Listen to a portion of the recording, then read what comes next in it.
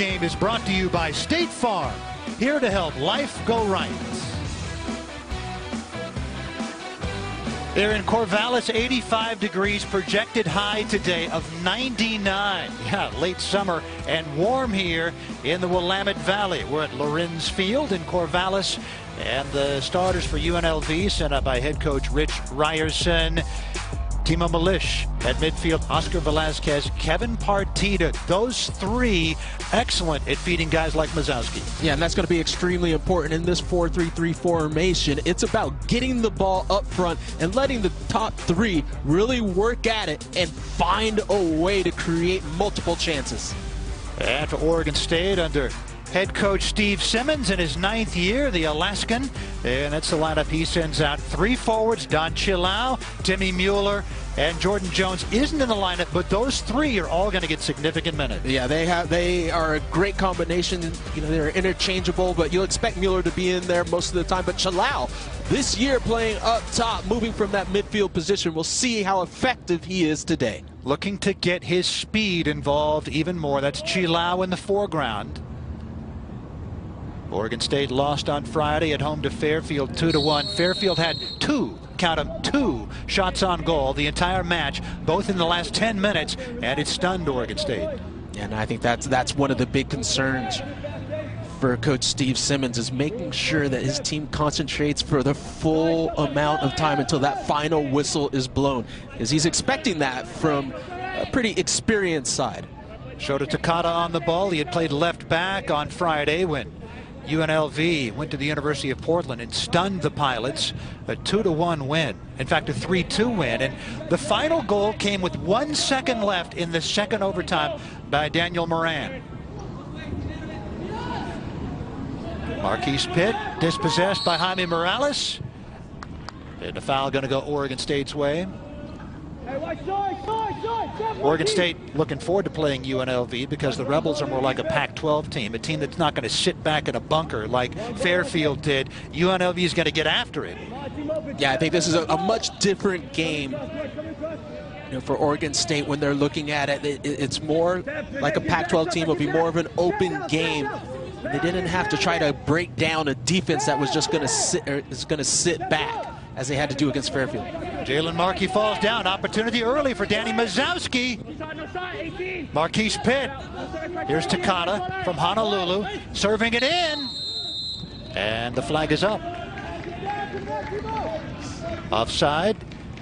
You're looking at Shota Takata. Again, played left back on Friday. Starting it forward today.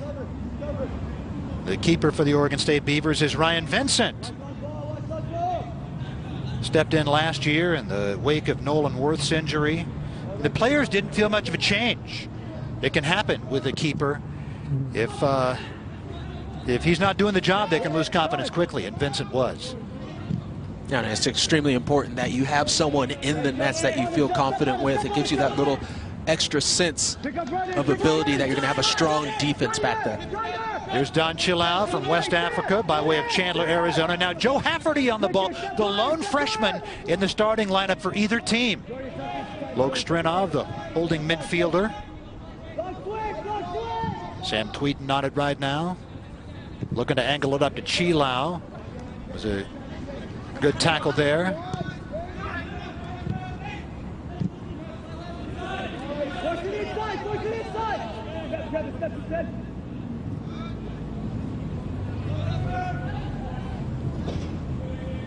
Hassani Dotson, number seven in white for Oregon State, didn't play on Friday. Bit of a foot issue. Nice to have him back out there today. A good leader.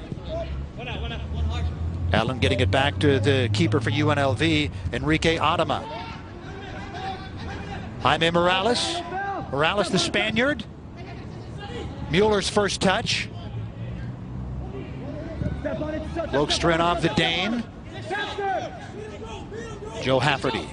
Hafferty's got some good quicks. Handball.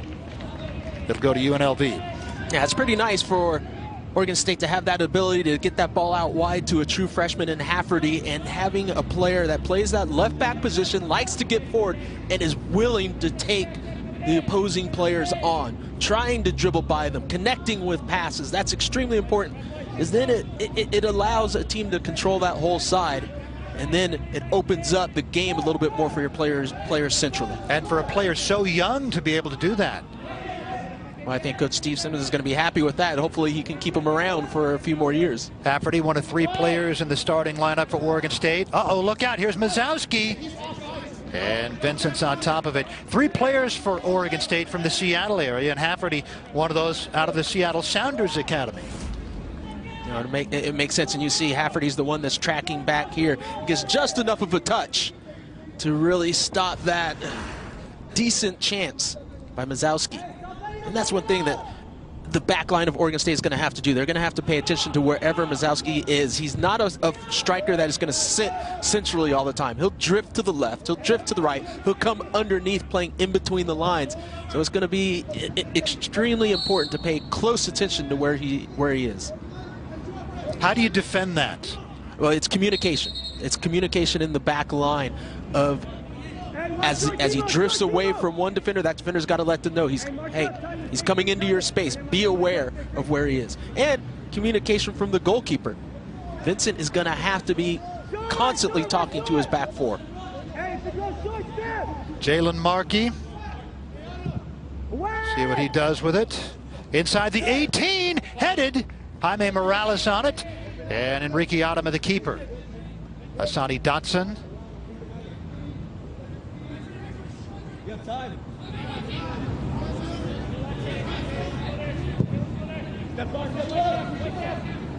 UNLV playing a little direct there. They're a team that typically likes to play good technical soccer, maintain possession, but they do take some risks. And their head coach, Rich Ryerson, says it's for good reason. UNLV soccer takes risks, and there he is. UNLV is his alma mater played there four years in the 1980s, more games and more starts than anybody in the program history. And he was hired seven years ago. And he knew that to gain support, they had to play exciting soccer. They had to score goals. And he says they do that, but by pushing forward, it can leave them susceptible.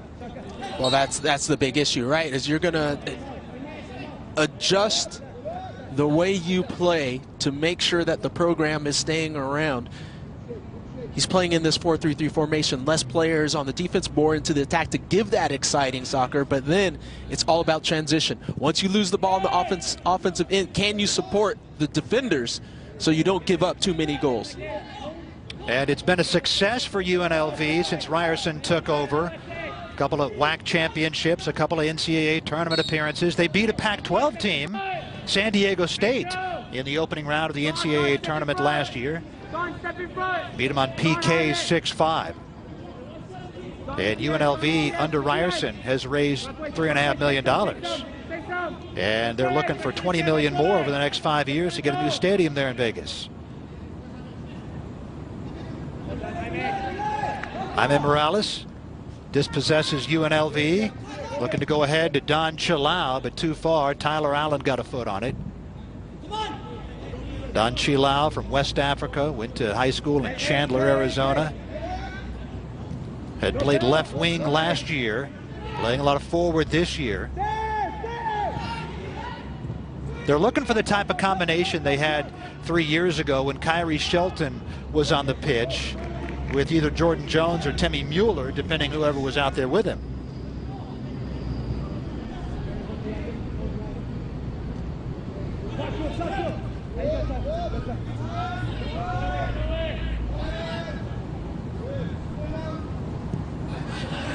At the time, Jones and Mueller were freshmen. Timmy Mueller, Pac-12 Freshman of the Year three years ago. And now the two are seniors. Don Chilau is a junior. So veterans up top for Oregon State. OSU picked to finish fifth in the Pac-12 preseason media poll. Of course, a couple of years ago, three years ago, five Pac-12 teams made the NCAA tournament. It is such a competitive conference. Stanford back-to-back -back College Cup champions. You can finish fifth. You can finish with the sub 500 conference record and still make the NCAA tournament. Now that's pretty amazing. It just tells you the standard of the Pac-12. and the respect that it's gained, you know, around the country, that it's one of the top conferences. Hafferty, long throw, Chilau. Could maintain possession.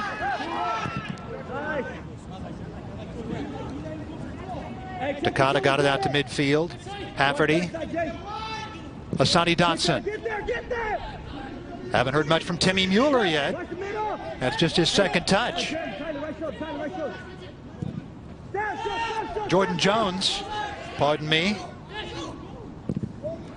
Hafferty taking a shot. Hey, good transition, boy. Good. Timmy Mueller in the initial starting lineup we were given. Jordan Jones got the start. Mueller will come in and bring fresh legs at some point here in the first half. Enrique Adama, much like Ryan Vincent taking over in the wake of the Nolan Worth injury last year, Enrique Adama earned the starting job in the ninth game of last year. Made the all-WAC tournament team. Jalen Markey hitting the pitch.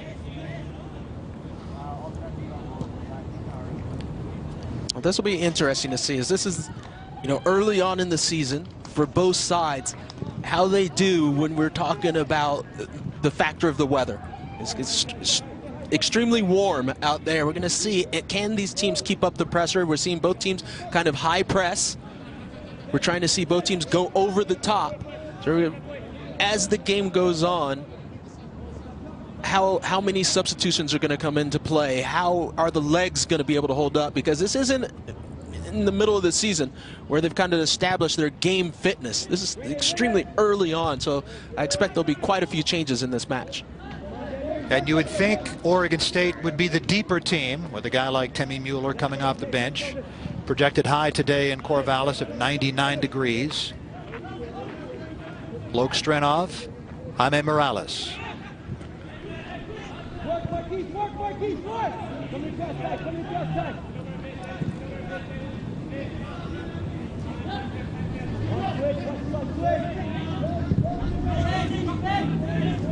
Sam Tweeden switches the angle of attack. Left channel, Joe Hafferty. Good idea by Hassani Dotson. Let it pass, went on a sprint. And he earns what will just about amount to a corner kick for his team. I've been pretty impressed with Hafferty coming up the side. He's done an excellent job. As far as you can see, he's confident on the ball. He opens up just enough to get the pass in as he's trying to find Dotson, and it's always where it needs to be. He hasn't lost the ball yet from that left back position. Matthias Binder, the Austrian, will take the restart here. In swinger. Header by Jalen Markey up and over the crossbar.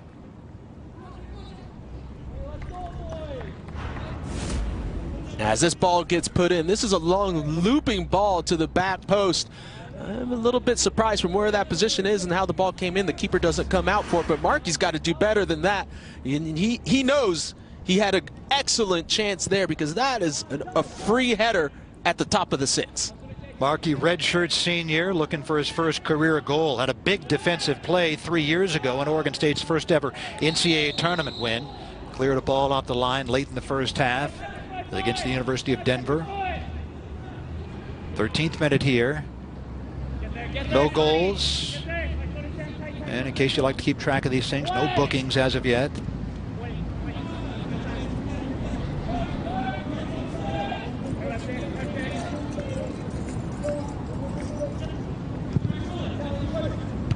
Dotson playing forward, looking for Chilau.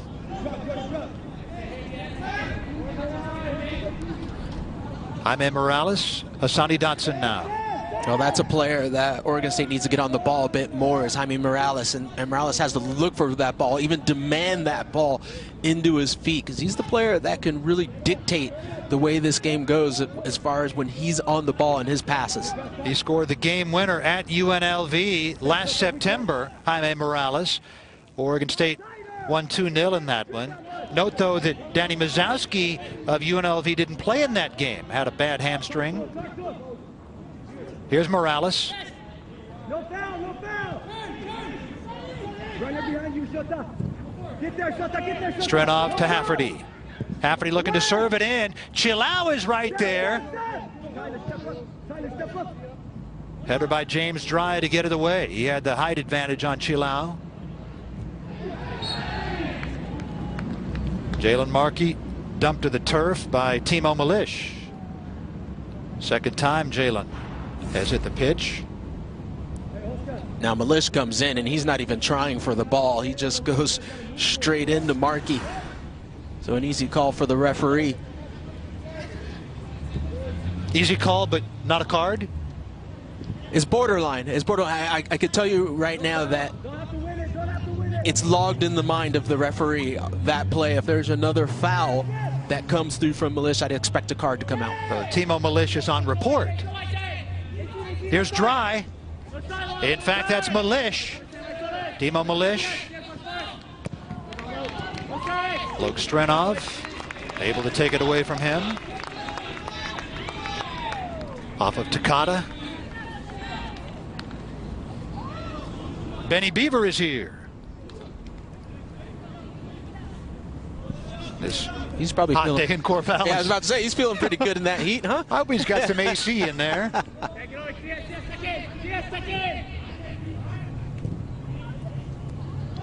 Rich Burke along with Kobe Jones. A great weighted pass in to Jones up top. Mark the wide, Chase. Mark the wide. Pick up runners. Pick up runners. Binder looking wide right. Eric Diaz, they like to get their outside backs forward and part of the offense at Oregon State. With this, step with this, step with this. Back to Binder. International flair on this Oregon State lineup. Binder the Austrian. Binder and Strenov the Dane. Strenov and Musovski.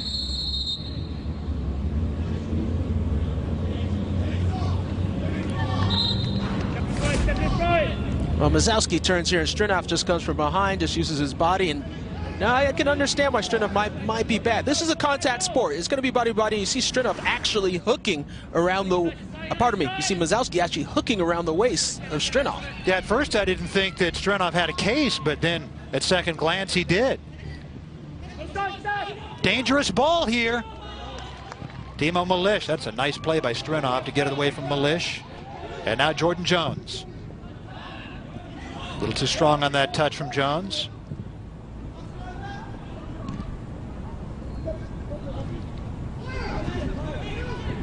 By the way, you and I had a chance to kick the ball around a little bit before the game. I appreciate the tips, Yeah, no problems. No problems. I, I, I always try to help anyone out that needs that help. and I need that help. You need it. Yeah, you need it a little bit.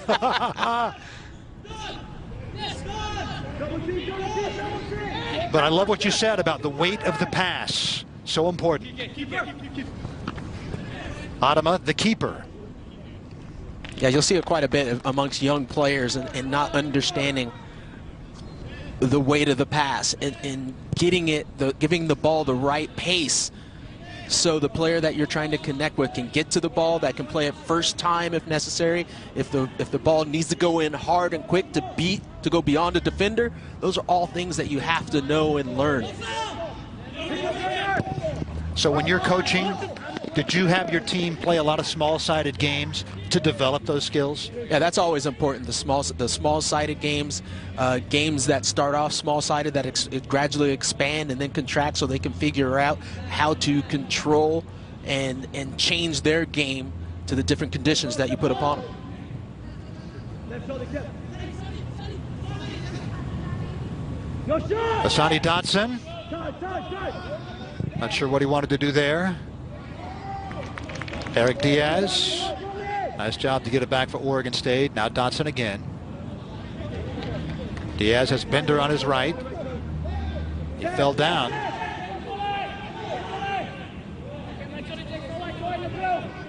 Timo Malish, the German, excellent playmaker here. He goes for it. Diving save by Ryan Vincent. Call him a playmaker. Malish just had to go. Yeah, well done by Vincent to be aware on this as Malicious realizes nobody's coming stepping up to him, so he's just going to step up and have a crack. And that ball is moving a little bit. It's knuckling. So smart move by Vincent. Just get the two palms up there and just parry it wide. Milish going to take the corner. First for either team. Comes here in the 19th minute. It'll be an outswinger.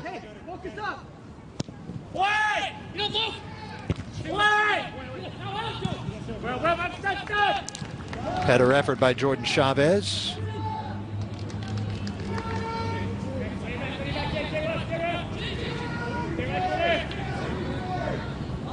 Tyler Allen on the ball, sophomore out of Honolulu.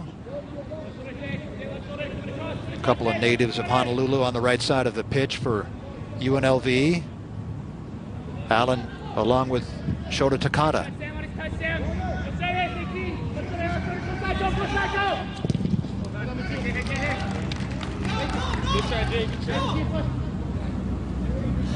There's James Eng, the 13 for UNLV, sophomore out of Las Vegas. Five Nevadans and four players from the Las Vegas area on the UNLV roster, on the starting lineup, I should say. And they also have a German and a Canadian.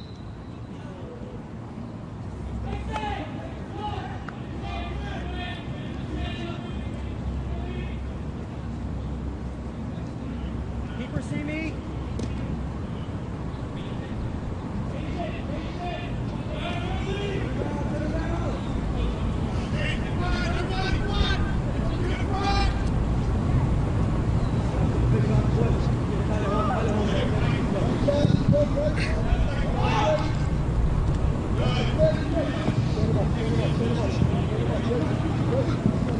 No foul! Run it, run it, touch! Get there, Shota, get there, Shota! To Hafferty.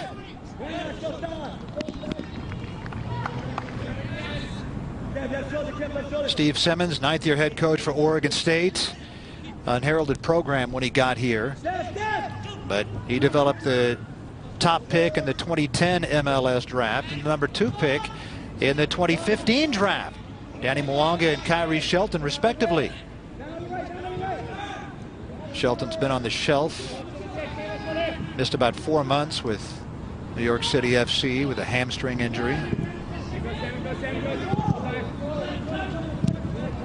But you look at a program like Oregon State developing those types of players. If you're a, a young player, nice place to go.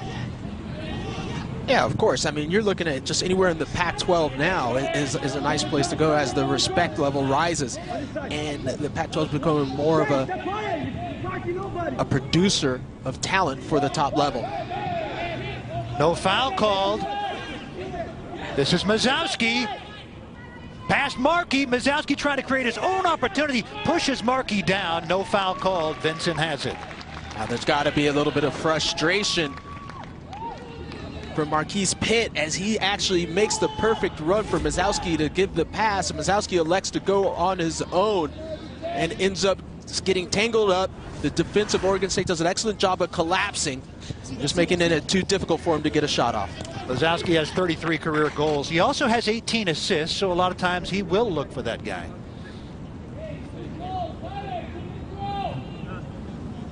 He assisted on Spencer Jackson's goal, the second goal. There's Musovski wearing the captain's armband. Assisted on Jackson's goal at UP that tied the match at two. And then Daniel Moran on what amounts to a Hail Mary.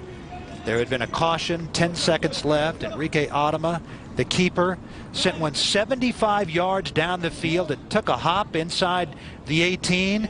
And Daniel Moran dinked it up and over the pilot's keeper's head and then headed it in for the winner with one second to go three days ago. Talk about an exciting finish. Yeah, and, and, of course there were thousands of fans there at the University of Portland. Rich Ryerson, the UNLV head coach, said it was the best atmosphere he's ever been a part of in college soccer.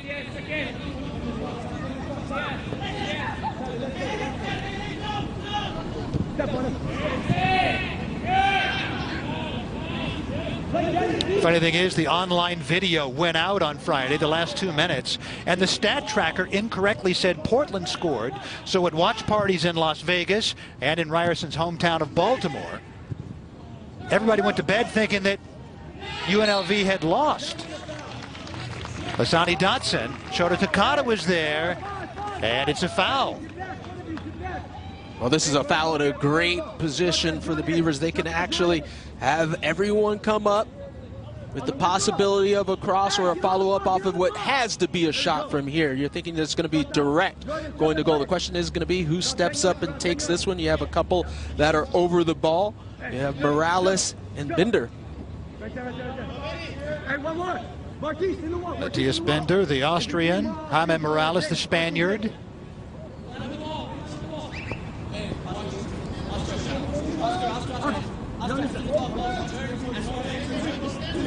Adama organizing things. It's Binder who takes it. Big opportunity lost for Oregon State. An opportunity lost, but this is a great effort by Binder as he steps up, just strikes us. And this is how you want to do it. You want to drive that ball, and it just goes off of the bar just wide. Just uh, he has the keeper beaten. If it's just a fraction, maybe half a half a step to the right, that one goes in.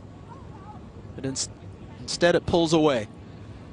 Well, we're in the 25th minute, and on this scorching day here in Corvallis, where the high is expected to be 99 degrees, they take a water break. Coming up on the Pac-12 halftime report, Kate Rooney will be in studio, and She'll take a look at the weekend soccer highlights. And football is back. Oregon State with the loss at Colorado State. And uh, by the way, coming up on Thursday on Pac 12 Network, Utah taking on North Dakota. North Dakota made the FCS playoffs a year ago. Sophomore Tyler Huntley won the starting quarterback job over the veteran Troy Williams. That game coming up Thursday from Rice Eccles Stadium here on Pac-12 Network. United Soccer Coaches poll shows that the defending champion Stanford won the last two college cups and their tops in the preseason poll. They return a lot of players. Washington 11th, UCLA 21st. Well, it's good to see, you know, within the Pac-12, we're all three you know, hovering in that top 20 area. UCLA just on the edge of it. But this is always, it's always interesting. It's preseason. We'll see how it goes. You know, after the first few matches, I expect some of these teams to start creeping up. And I chatted with Steve Simmons, the head coach of Oregon State, a couple of days ago. There he is. And I said, of course, you'd like it to be you. But at the same time, you got to like Stanford winning back-to-back NCAA titles. He said, yes. It's like when USC was winning national titles in football. It brought up the respectability of the entire conference, and that's happened now with Pac-12 soccer. Yeah, and, that, and that that's important. As long as the Pac-12 like you always want it to be you, right? but if, if not, if you can keep it within your conference, that is just it, it. Not only does it gain respect, it draws. When you're starting to look and you're starting to recruit, top players are starting to say, you know what? Well, maybe I want to go to the Pac-12 because I'll be playing against the best. I'll be playing against those top talents, so my game can rise and increase and get better. Rich Burke along with Hall of Famer Kobe Jones, former UCLA Bruin, and prior to these two college cups for Stanford, UCLA was the only Pac-12 team to win an NCAA title. They won four of them, 85, 90, 97, and 02. 87 degrees right now. Expected high just under 100 as we head into the late afternoon. And of course, you won a college cup in 1990. What was that experience like? It was nice. you, you never forget. You know, there's, you know what? There's something about winning. It just feels good. you know, no, it was it was a great experience. You know, because you're working all year. You're working. You're hoping that during your college career you can get something. You know that you can you can win a title. And if it does come to fruition, something special. So that's why when you look at a team like Stanford that has won it back to back and that's given great opportunities and, and, great memories for quite a few of those players at Stanford. That's something special that they will always remember for the rest of their lives. After the water break, 25th minute. Oregon State had one chance recently on the restart just outside the penalty box.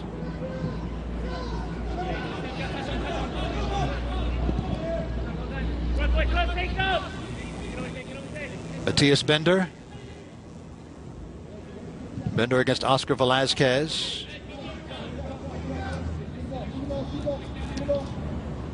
That's Matthias Binder, transfer this year out of the University of Wisconsin-Milwaukee. Binder 35 games with the Panthers over three years, couple of goals and four assists.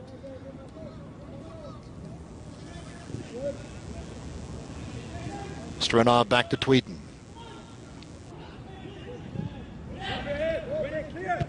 Tweeden playing direct, looking for Jordan Jones.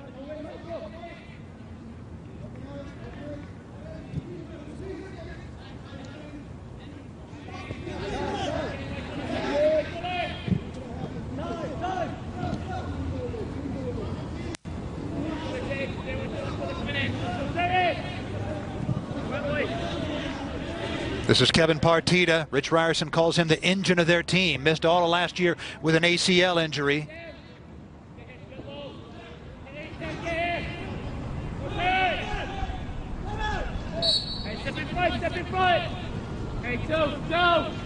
Well, it's interesting. You, you, talk about water breaks and how it can affect things, but all of a sudden, after the water break, you see a player like Partita, you know, starting to be a little bit more involved in the game. Now, is that due to the water or is it because of that opportunity for the coaches to have that coaching moment, telling players, hey, you got to be a little bit more active, you got to get on the ball a little bit more.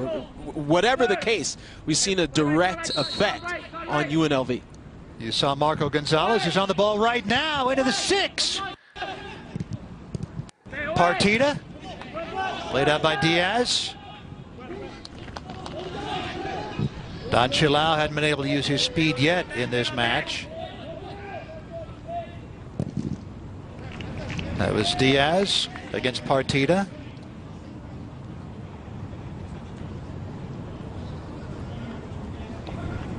There's Kevin Partida, 51 games entering this year. Six career goals, five assists. Very much a leader. And because he redshirted last year, he gets to play with his brother Jesus this year, who is a true freshman. So there was a silver lining to him missing last year with a torn ACL. Don Chilau giving some space.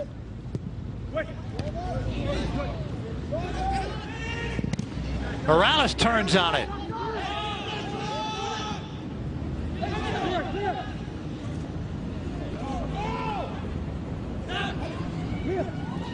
With an opportunity, and he gets dumped. No foul. Morales is extremely upset, but even over this last 20 seconds or so, some good movement and some chaos in front of the net of UNLV. And you see Morales just dancing through a couple defenders, does a little bit of the touch, the ball's bouncing all around. And, and look, you can scream all you like, and I know the Oregon State team would love to have the call there, but when it's that congested, it's so rare for the referee to give anything up.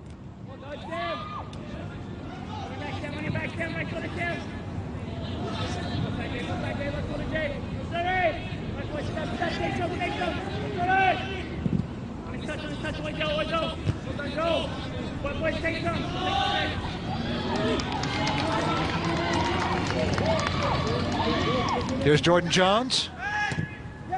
Morales, Chilau.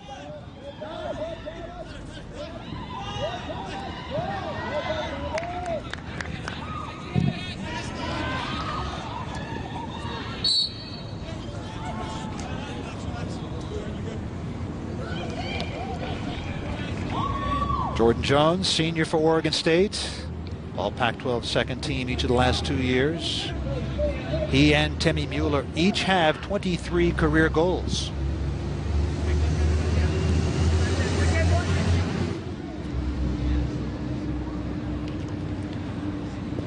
No sign of Timmy Mueller in this game yet. It has been Jones and Chilao through the first half hour.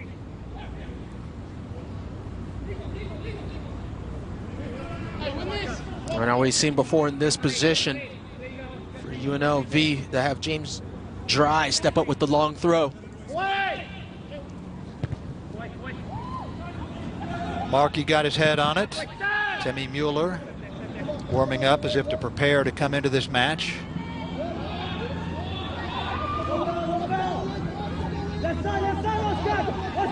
Hassani Dotson.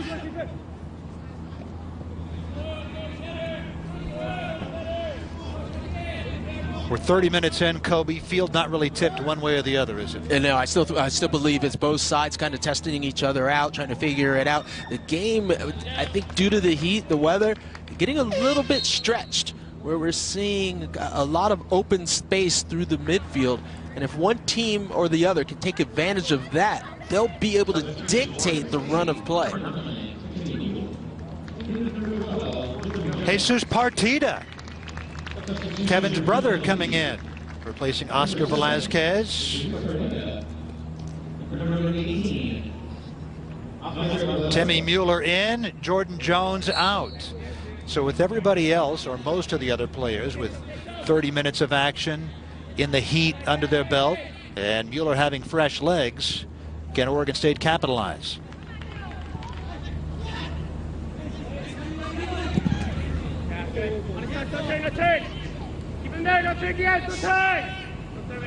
Memo Diaz into the match for UNLV. Jesus Partida getting his first collegiate action. Didn't play on Friday at the University of Portland. He's number seven in red.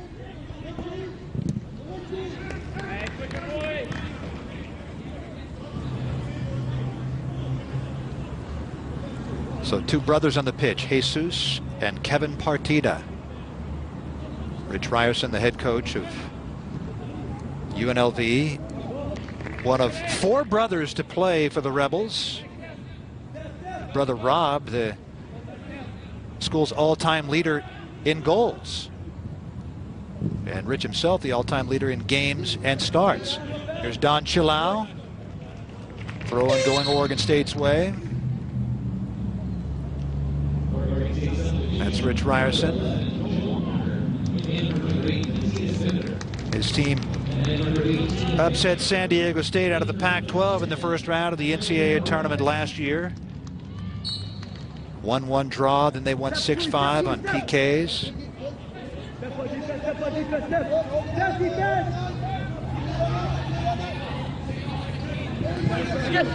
Jalen Markey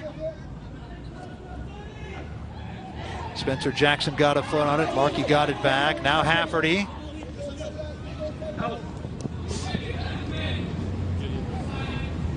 Not a good lead by Hafferty there, but you like what you've seen from him so far. Yeah, for for a true freshman coming in, I, I liked his first 10 minutes of the game. I think now maybe trying to do a little bit too much, trying to squeeze it in in such a tight space where he could probably pull that back and just keep possession. I think that's important as we're seeing uh, so, some of the substitutions start to occur, I think, due to the heat. Joel Walker into the match for Oregon State.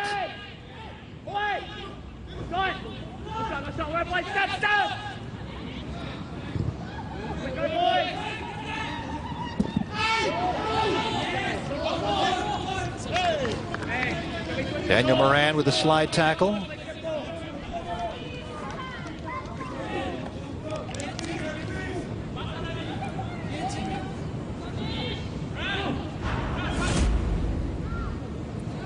Well, for Moran just coming in, he comes in with a uh, with a nice tackle on Hafferty.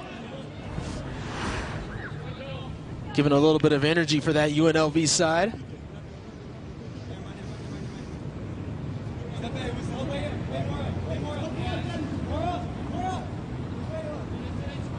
Jordan Chavez with the throw in. Daniel Moran had the game winner with one second left in the second overtime.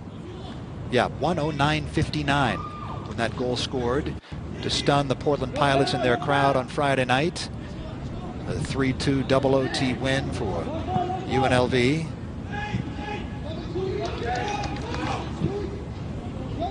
Strenov, right side, Eric Diaz. Told you, OSU likes to get their outside backs forward and part of the offense. Chilau tried to go back to Diaz in a two-man game. Instead, Walker was on it momentarily. Now Strenov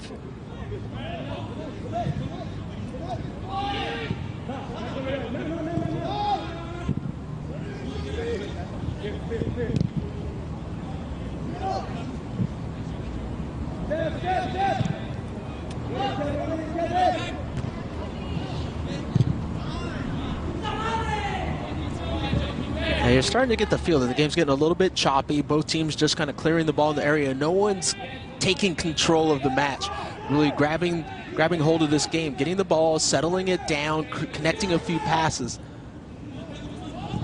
Each team with one scoring opportunity. Oregon State on a set play just outside the 18. UNLV on a shot by Timo Milish and a diving save from Brian Vincent. Ball about 30 yards out. Here's Hassani Dotson. Daniel Moran defending along with Jordan Chavez.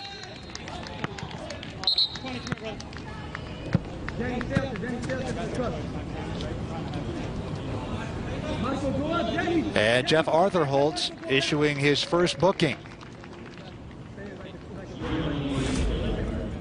Yeah, this is a good call because as this ball goes right between the legs of Jordan Chavez, he realizes that he's beaten. All he can do is just grab Dotson around the waist and just pull him, pull him to the ground.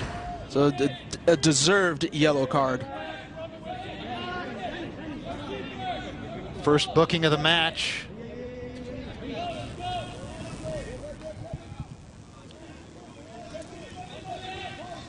Mitch Hammer, a true freshman out of Cave Creek, Arizona, is going to take it here.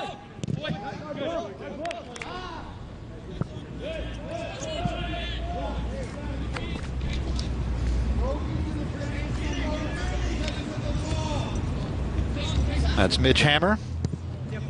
From Cave Creek, Arizona, but went to Shattuck St. Mary's, a private boarding school in Faribault, Minnesota.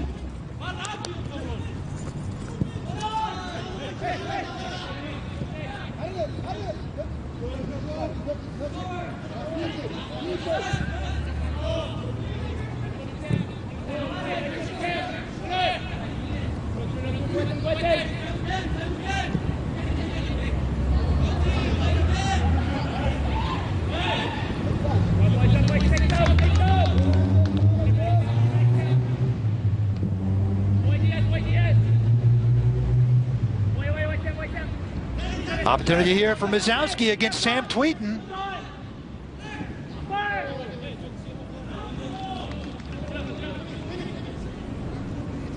Well, that was a name we haven't really said in a while as Musovski. He's kind of disappeared within the match. Hasn't gotten the ball to his feet. Hasn't been able to really open up and create space for him to have his teammates find him. That's one of the few times he does a good job of holding the ball up and connecting the next pass. Just after that, they need to have something a little bit better. Not really any shots to say of for UNLV.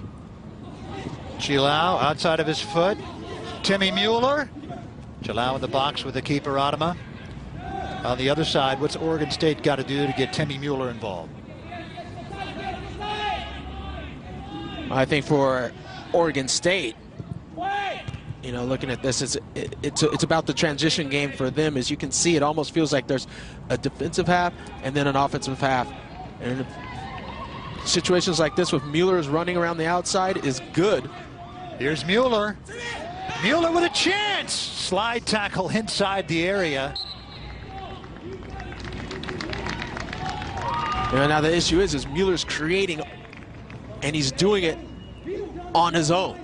That's the issue is he looks up. There's really no one there inside. There's got to be someone, Jalal, at that far post streaking in. So if he does look up, he could just lay that across the face and let him battle. But what an effort by Mueller to just create something on his own.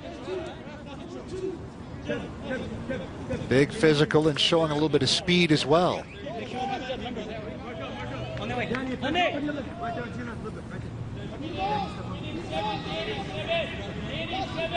Mitch Hammer takes the corner. Mueller had it at his feet momentarily.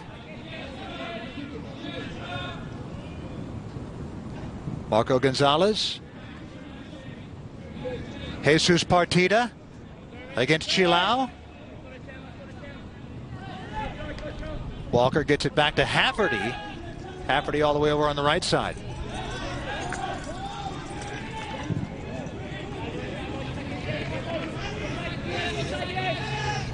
Daniel Moran against Strenov. Gonzalez trying to one touch it into the area.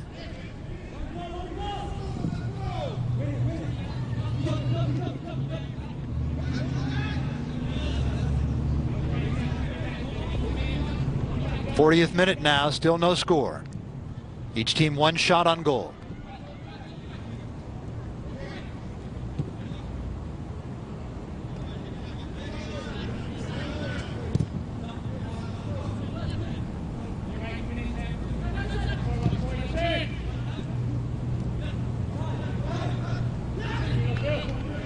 Last time we checked, 89 degrees here in Corvallis. Projected high today of 99.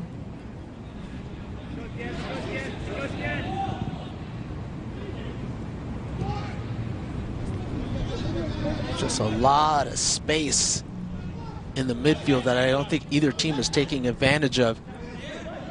As, they, as, as both teams are looking, I think, to be too direct, just trying to go straight up to the top, trying to play over the top. And it's funny because both will tell you they want to play a possession style. Yeah, I think a lot of it, you know, I mean, then there's another look at it, what we're seeing, but I think a lot of it is because of the heat. It's a, it's a little bit, little bit difficult so early on in the season to be playing under these types of conditions.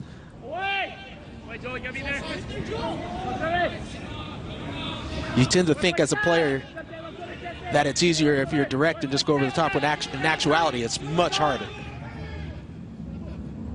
Jesus Partida against Hassani Dotson. Tackle by Strenov. You always find it as a player, it's but the game's easier when you have the ball. so keeping possession's got to be of utmost importance for both sides.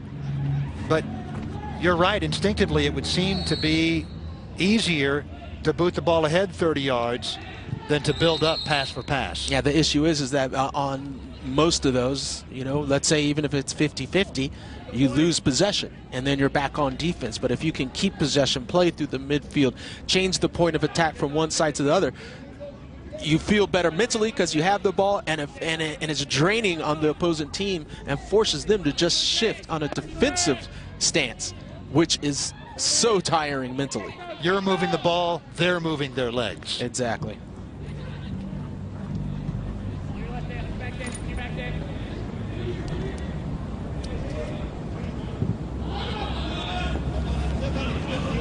Pac-12 halftime report coming up. Kate Rooney in studio. Talk about the weekend women's soccer highlights. And take a look at Pac-12 football getting rolling this weekend. And more coming up in the week ahead.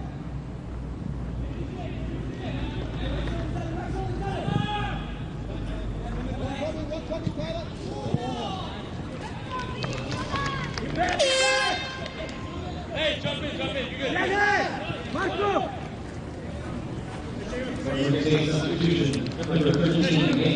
Hassani Dotson coming out.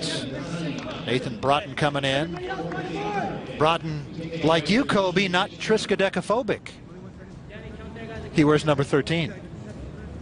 I think you should explain to everybody what that was you just said. Triskaidekaphobia, fear of the number 13. Okay.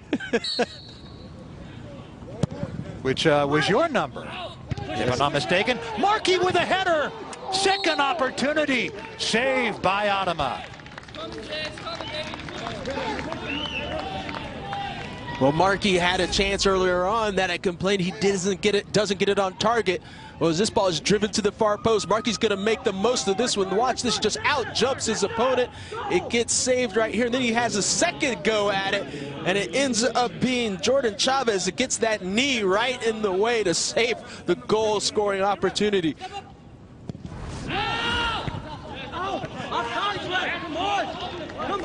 A couple of opportunities at the end of the first half here for Oregon State. What a good ball that was on the outswinger from Mitch Hammer. Yeah, great ball by Hammer being put in there to Markey, just driving that back to that back post. You know, allowing your players to do what they do best. There's another one. Mueller chests it up and over.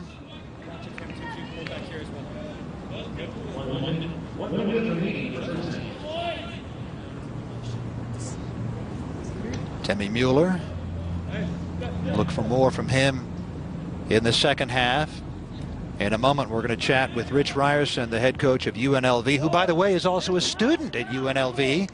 He's getting his master's degree this December in public administration, nonprofit leadership.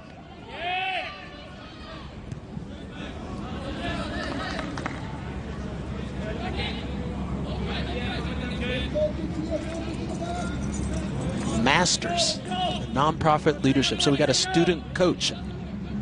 Yeah. and it makes sense. He's raised three and a half million dollars. And they're trying to raise 20 million more to get that new stadium in Las Vegas.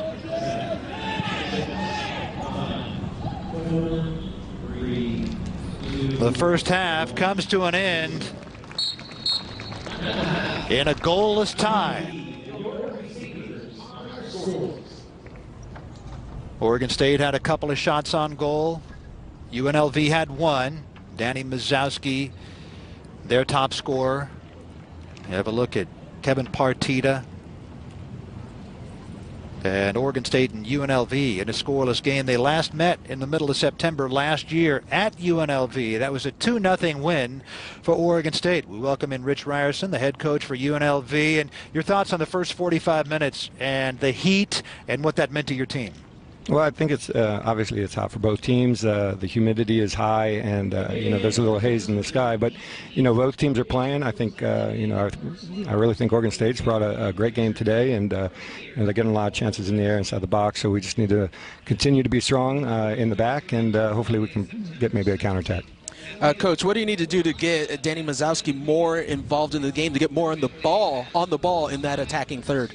Well, I think right now we're, we're transitioning uh, too fast, and I, I, don't think that we're actually trying to hold the ball the way we can. I think so. Uh, so I, what I'm going to talk to the guys about is just trying to make better decisions in transition.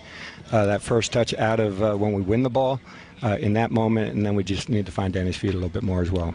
All right, Rich. Hey, good luck getting that degree, that master's degree this December. Thank you. Thank you. I'm, I'm doing a little pro project at halftime. So. Attaboy. Good luck. exactly. Thanks a lot. All right, Bye -bye. Rich Ryerson, head coach of UNLV. Pac-12 halftime report is coming up from the Pac-12 Network studio. Kate Rooney will be along in a moment. No score at the half.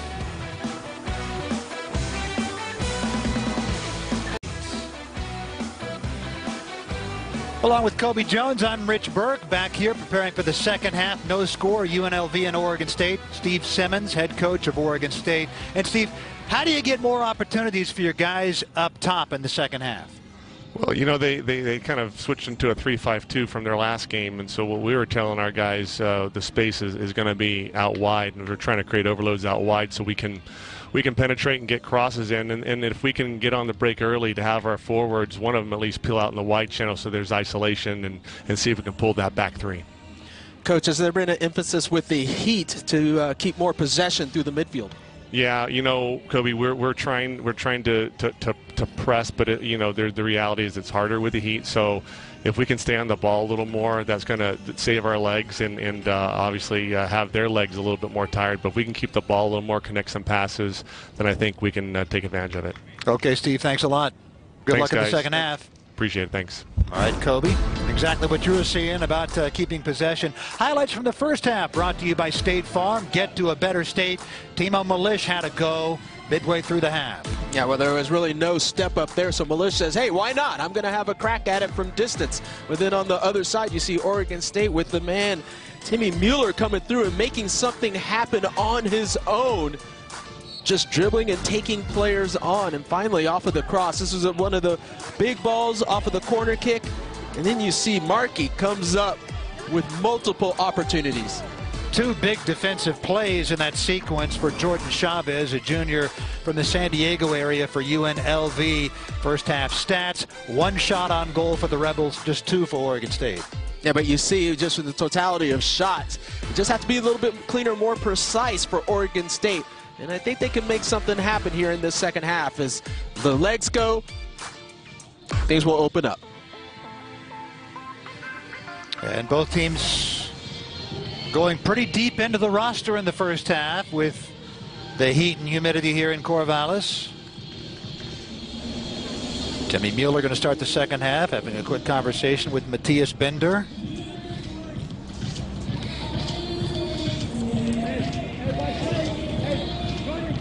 Jordan Jones likewise starting the second half. Yeah, and this is something that we saw quite a bit eh, last season was these two playing together up top, and they seem to have a good understanding of each other. Looking for the same type of partnership that Shelton had with Mueller three years ago. And they have developed that here over the last couple of years. Of course, with Khiry Shelton here, neither Mueller nor Jones was the key. And so that really opened things up for the two of them.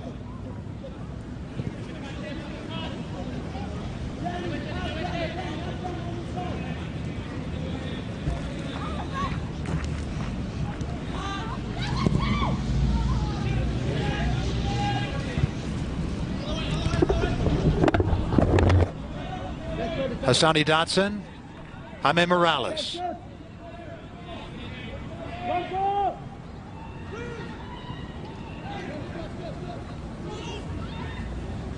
Look out, Marquise Pitt. Strenov was unable to maintain possession. Pitt! And Ryan Vincent has it. Well, I think another squandered opportunity for UNLV as Pitt is able to go 1v1, draws the second defender, and he actually has his teammate Musovski overlapping into an open space. If he could have laid it off to him, he would have had, I think, a better opportunity at goal. So we're seeing twice now for UNLV, probably the, the opportunity with the least chance of something coming up at being made by the two strikers.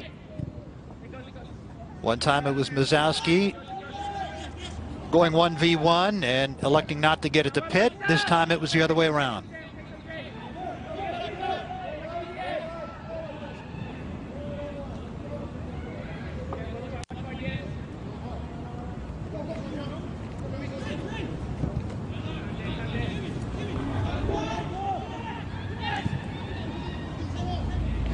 Great minds think alike, Kobe. You had said the way to beat the Heat is to maintain possession, make the other team run. That's what Steve Simmons said coming into this half. And as that player, Morales is going to be the one for Oregon State that will allow them to keep possession. He's got to demand it. He's got to open up into spaces and get the ball off of the feet of his teammates. When it comes down to it, the nature of the game is you don't want your defenders, your center backs, your defensive midfielder being that playmaker. The playmaker should be the playmaker, the number 10, Morales. He's got to get on the ball more. That's Strenov, the holding midfielder, now to Diaz. Diaz tried to get it to Binder, but Oscar Velazquez was there for UNLV. Pitt with Kevin Partida to his right.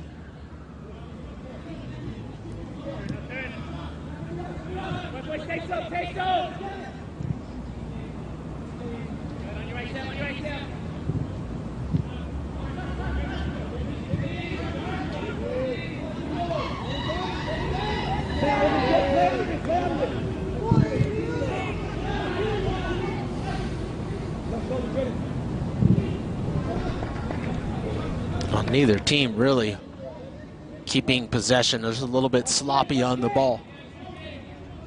There's that key guy you're talking about, Morales, finding Dotson. Timmy Mueller.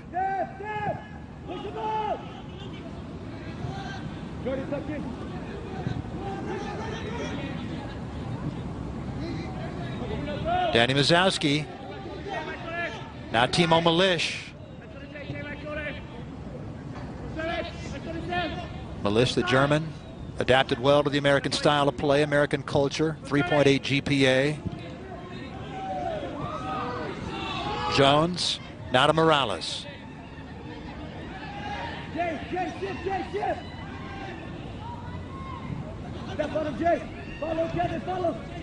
Diaz, one touch. Matthias Binder.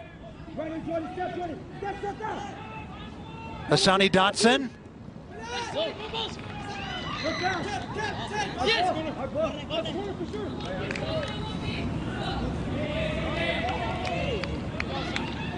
Dotson trying to earn the corner.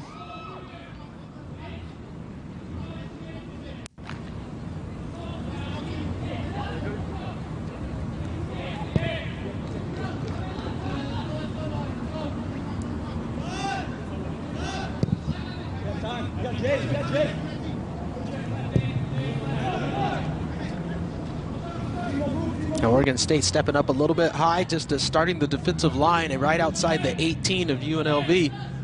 We'll see if they can get some type of turnover.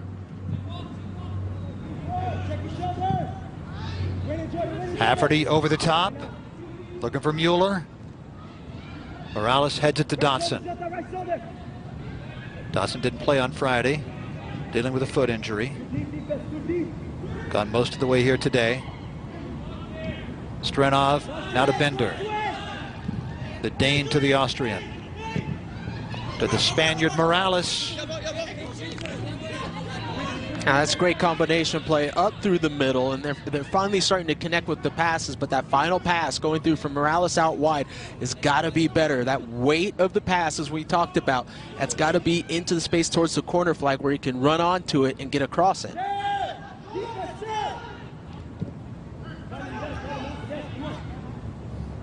Binder has Morales in front of him. Beyond that, Mueller.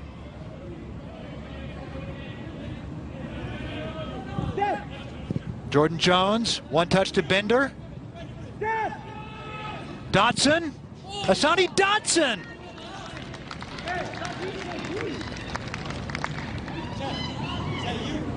That's a nice strike from Dotson as that ball went out wide to him.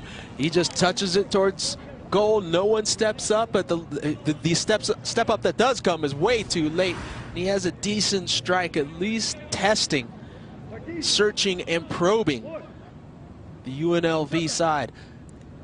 And what we're starting to find is not so much Morales that is the one that's getting on the ball. He's, he's, he's getting a little bit better movement for Oregon State, but they're focusing on him. And the player that's picking up a lot of the balls is right here, Binder. He's been picking up the balls deep, and then he comes in late, picking up the balls to be the connector going forward. Foul on James Dry. Opportunity to come on up here for Oregon State.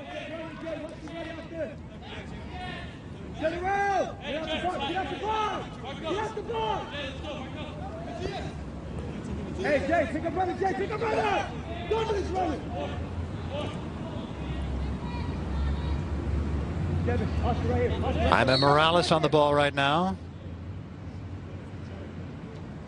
Away! Headed by Chavez. Punched by Adama. Ball doesn't bounce Oregon State's way, and Malish clears it.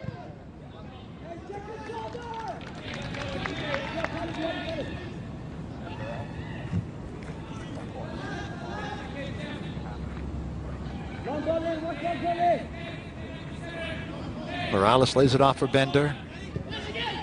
Mueller, not heavy enough on that pass.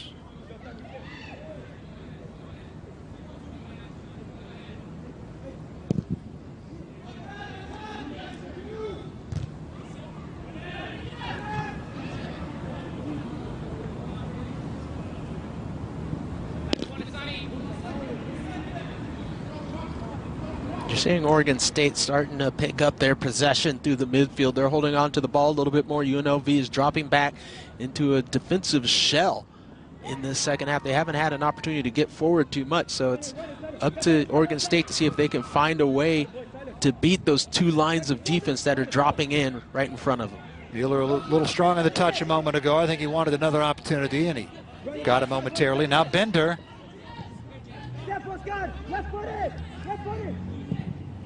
Jaime Morales, diving save by Adama.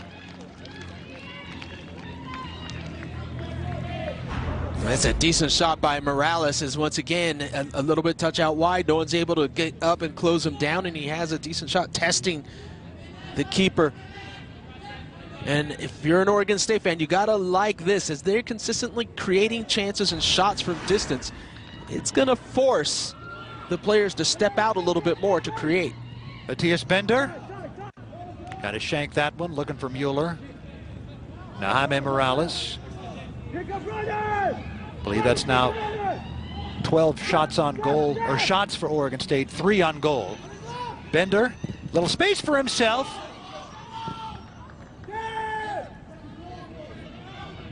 Diaz maintains possession. Loke Strenov. Parents, Mads and Moretta, were here for a game last year. And we did here on Pac-12 Network. Haverty sending it in.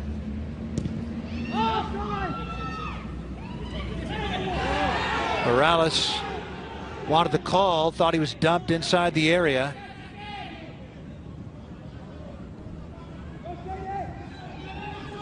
Musovski hasn't touched it much. Brother Adam played on Friday but has not played today.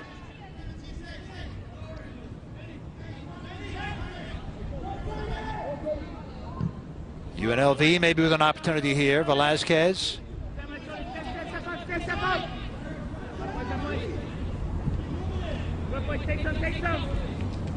Kevin Partida. Nah, it's just too slow from UNLV. If you take four or five touches on the ball, you're allowing, allowing the opposing team to get back into a defensive shape, which Oregon State has done. And they're looking pretty good now, and it's difficult to beat two lines of four. And then sometimes the striker coming back to help out as well defensively. Oregon State typically does a really nice job with that block of eight. Look out. James Eng off the Sam Tweeten. And a corner for UNLV. Just their second of the match. Marco Gonzalez checking in for the Rebels. Gonzalez, 73 minutes in his first college game on Friday and had an assist. Part of the Real Salt Lake Academy. Timo Milish, excellent with both feet. Going to take the in-swinger here. Punched out by Vincent. Swing and a miss for Shota Takata.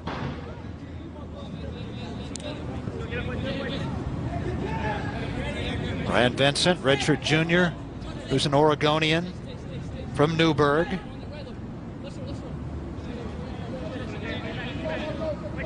Throw in for Dry. Headed by Tweeden.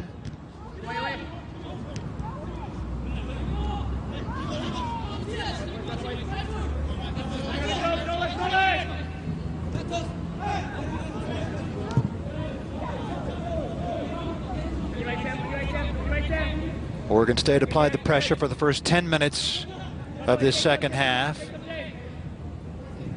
Now UNLV having an opportunity here. Timo Milish. Strenov took it away.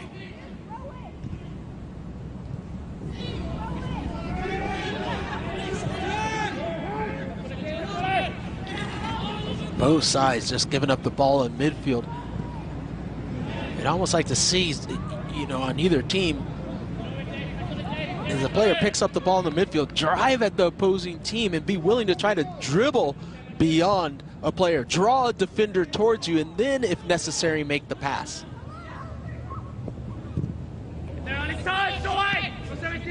James Eng, defended by Diaz.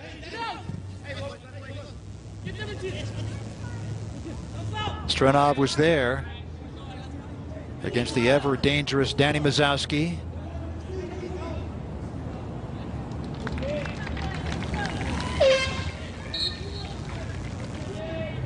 Approaching the 60th minute here. Nathan Broughton, number 13, checking in along with Mitch Hammer.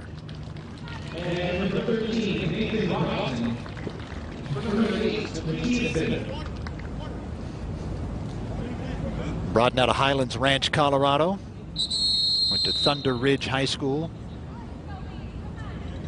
34 games entering this year in his Oregon State career. One goal, a couple of assists.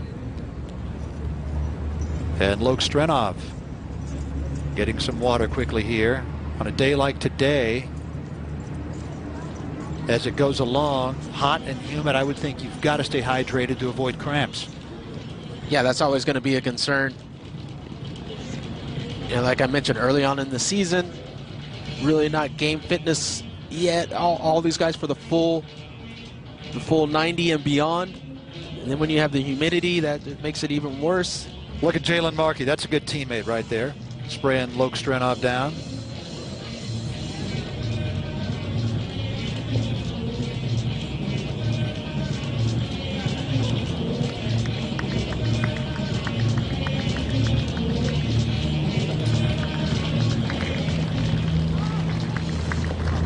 Maybe a couple of future Beavs there.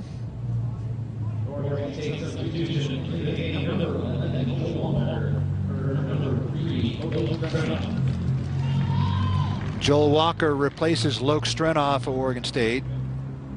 Up to 92 degrees now with 30% humidity. That's always rough for players. As the game goes on, it's just getting hotter. We're used to it getting cooler, but it's just getting hotter there. Yeah. It's getting uh, tougher and tougher to play. Been a warm summer in the Willamette Valley. A lot of days with triple digit temperatures, unusually warm. Two strikers right there, Mueller with Jones behind him.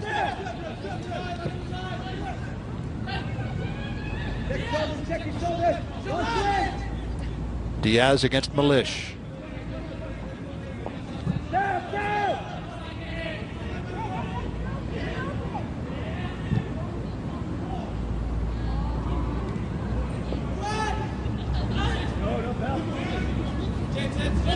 Mitch! Don't foul! Partida. Along with Mitch Hammer. Now you could sit hear Mitch Hammer's teammates screaming, no foul, no foul, but uh, apparently he wasn't listening as he just goes in hard against the foul because you actually allowed the player to a get out of jail free card, as we like to. There's no need to foul there. He's facing, he's facing the sideline, and you have him trapped in that position.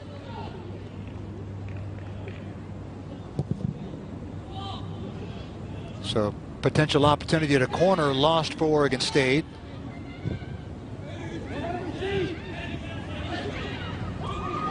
Joel Walker. Walker, a true freshman out of Colorado Springs. Hammer, likewise a true freshman, finding Diaz. Marco Gonzalez on the ball for UNLV. Calmly gets it over to Dry.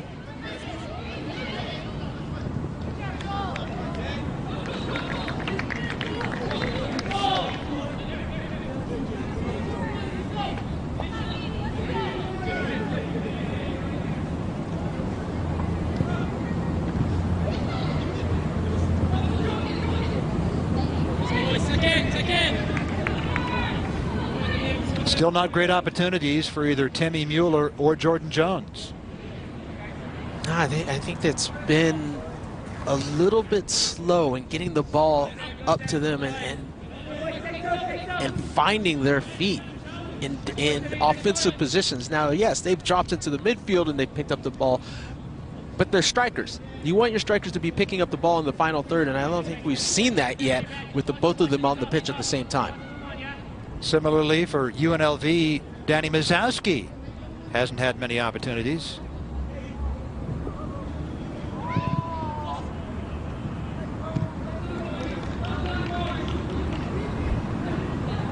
Mitch Hammer. Throwing coming up for Shota Takata.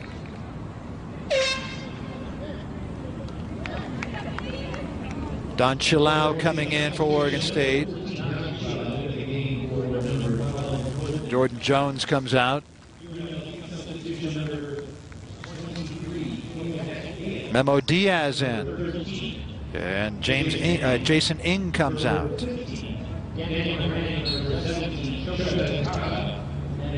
Daniel Moran, number 15, right there with the throw in, replacing Shota Takata. Moran had the game winning goal with a second to go in the second overtime three days ago. Along with his Heat, both these teams just played 72 hours ago. Less than that. Night game on Friday, day game on Monday.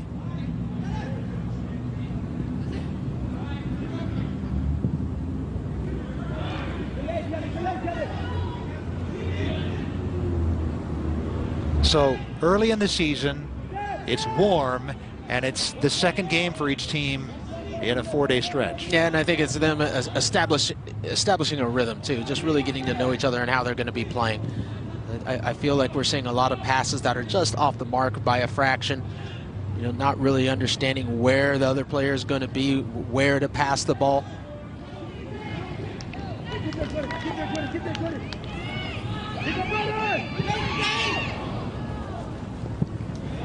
Shot there for Nathan Broughton. And that's a look too, right there, the, the sharpness. Not quite as sharp as you expect these players to be in a couple of games or so.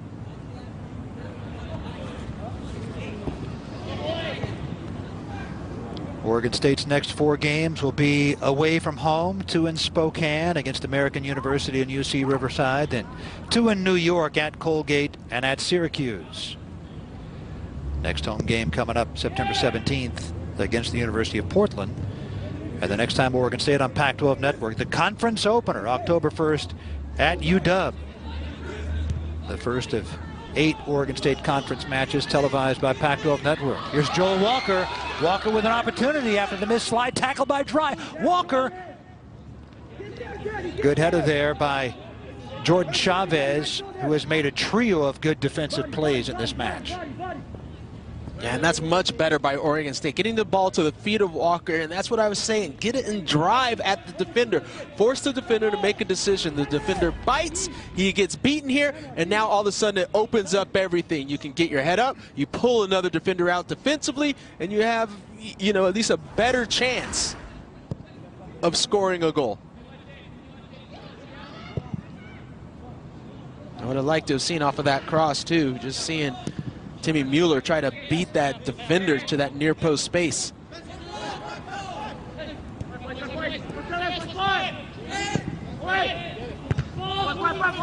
Jalen Markey with a header. Sam Tweeton likewise. Joel Walker swings and misses.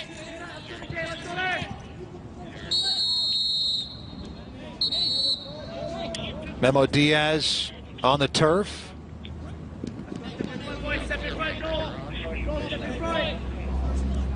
And Joel Walker shown a yellow card. First booking of the match for Oregon State. Jordan Chavez got one earlier for UNLV.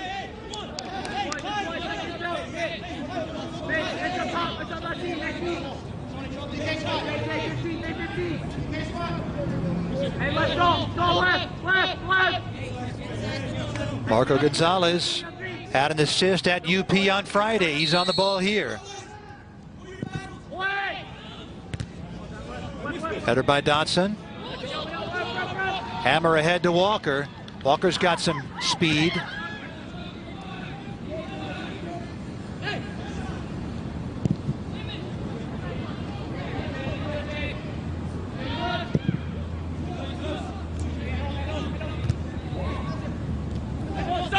Here's Musovski. Look out. He's got some space. Danny Musovski.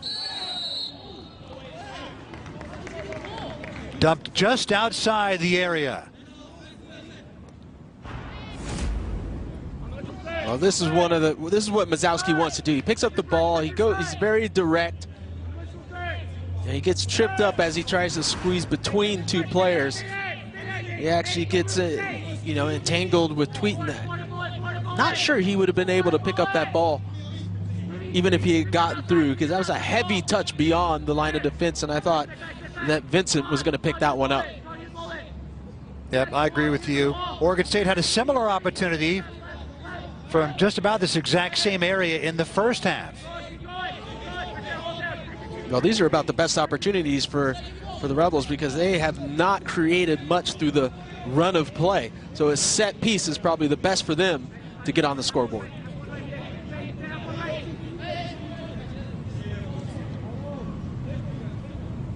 One of the top scorers in the nation, but it's not him. No, it is him, Musovski. It's off Chilau.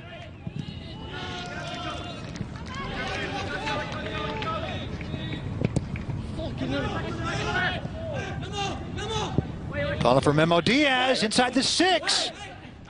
Cleared out by Eric Diaz.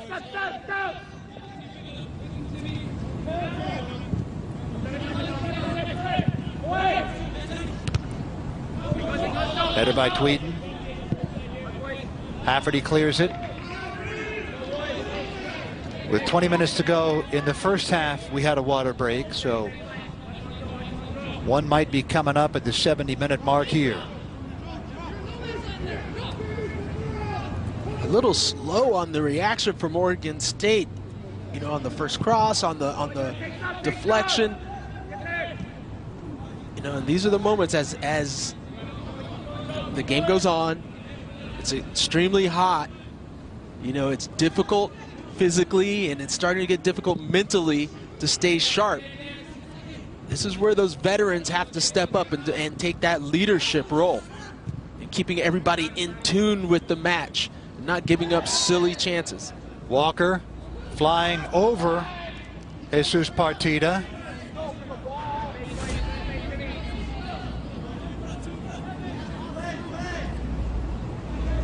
That's a little acrobatic.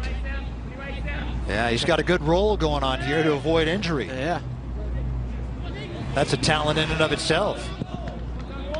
It's called self-preservation. Yeah. Mentioned those veterans. Oregon State's a veteran team starting eight upperclassmen. Chalao, a junior, on the run. And I believe it was past the far side touch.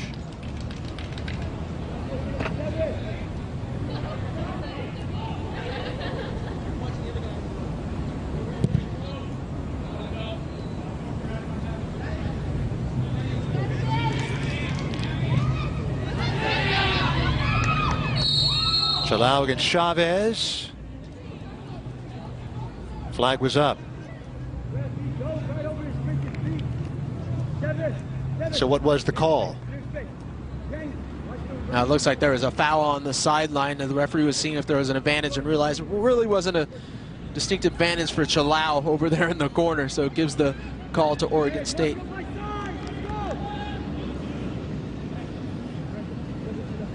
I'm not exactly sure why Markey's out here taking this, considering that he's been the, their best header of the ball off of set pieces. He should be in there in the box. Header by Hammer. UNLV tried to counter. Musovski was lurking. Jesus Partida. Keep it wide, yes, keep it wide, keep it wide, Joel. On his touch, on his touch, get there. No turn, Nate, no turn. My shoulders down. My shoulders, my shoulders. Expect that water break after this build up here for UNLV. No shot. Stop, stop. No service, no service, Timmy, no service. Hey! Memo Diaz. Step in front. Step in front. Step in front, Another opportunity coming up here for UNLV after the foul on Timmy Mueller. That's a little touch right here. Just has Mueller doing a little bit of a flyby by Diaz. This is a dangerous opportunity for UNLV. This is one that the keepers don't like too much. This gives the opportunity for the player to try to sneak that in near post. And the keeper has to be aware of, but then there's going to be a lot of bodies coming right across the face of the goal. So Vincent has to be on his toes here. A lot of things to be aware of. Marco Gonzalez on the ball for UNLV. The freshman has a go. It's off the crossbar. Best opportunity for UNLV. without a doubt, off the crossbar, testing Ryan Vincent in goal. And now coming down on the counter. Don Chalao.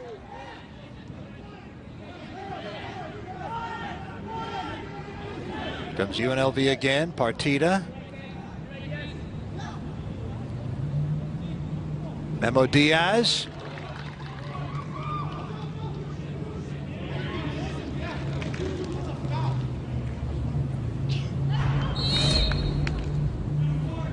Now we take a look here. We see this ball that gets put in off of the crossbar by Gonzalez, forcing the save from Ryan Vincent. Extremely fortunate there. Not exactly sure how Vincent lets that one go to the back post. Yeah, Gonzalez very nearly threaded that one in. So in the 72nd minute, a water break here on this hot day in Corvallis. The beginning of the second half, Oregon State had some chances. Since then, it has been UNLV that has had the chances.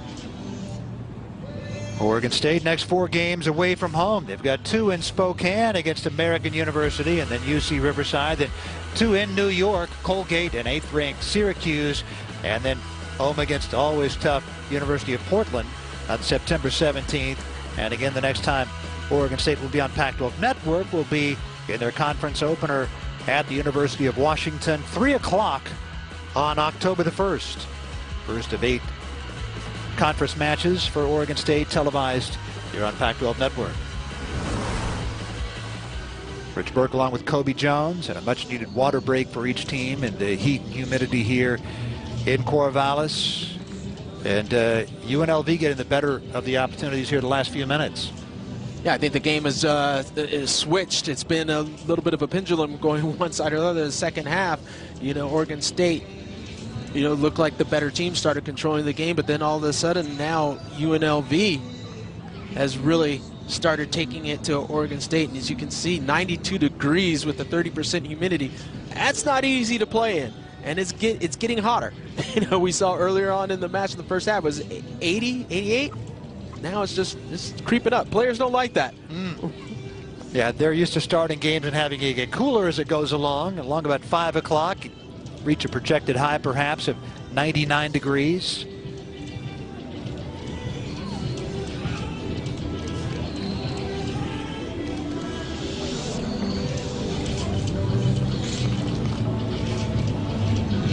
UNLV doing a little better job of late of connecting passes, getting the ball in the attacking third.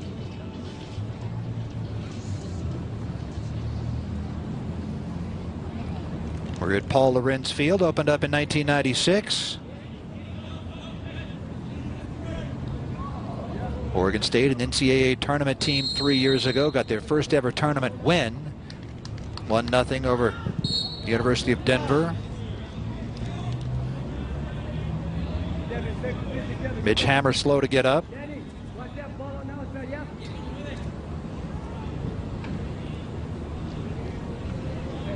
Mitch Hammer he takes the foul. Let's see if they do a better job. Yes, I like this one already for Oregon State. This time, looks like Hammer's going to take the the set piece, and they're actually going to put Markey inside, as you saw him jogging across the screen. As he's been dangerous on all these set pieces. He's running into the middle of the 18. Sam Tweeten in there as well. Header by Memo Diaz. And that foul goes against Oregon State.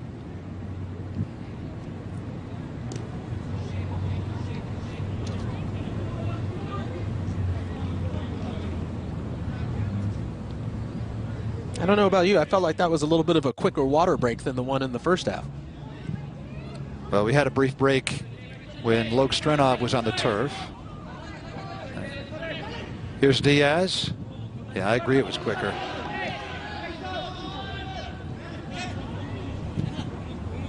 Kevin Partida. Marco Gonzalez. Musovski trying to spring Gonzalez on a give and go.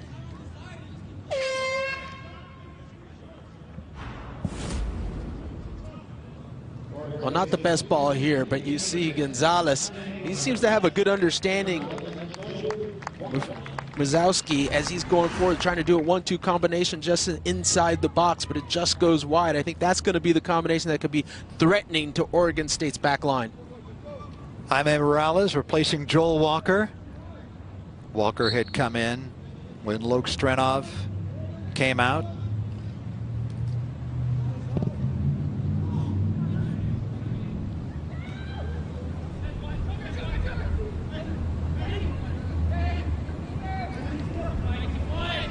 Spencer Jackson into the game for UNLV. He's on the ball right now. Kevin Partida.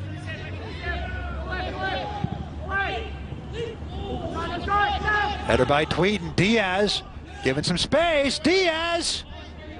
Wide left. Memo Diaz out of Anthony, New Mexico, second year with UNLV after a couple of years at Yavapai Junior College in Arizona.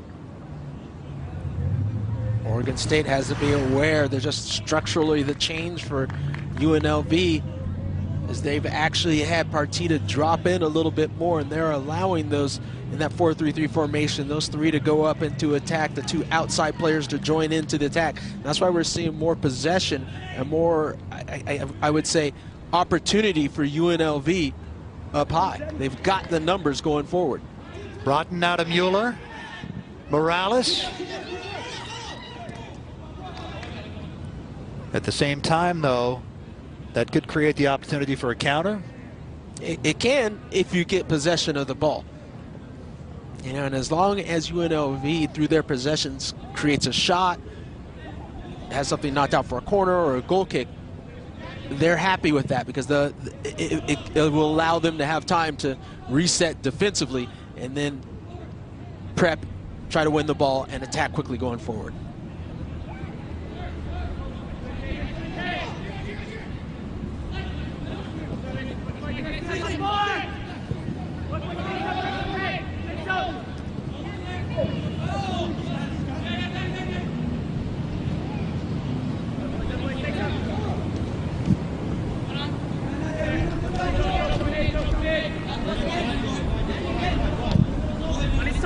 Dry sending it opposite side of the 18.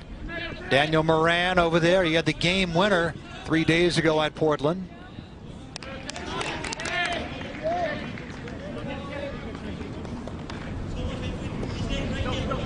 UNLV gets the opportunity on the corner here.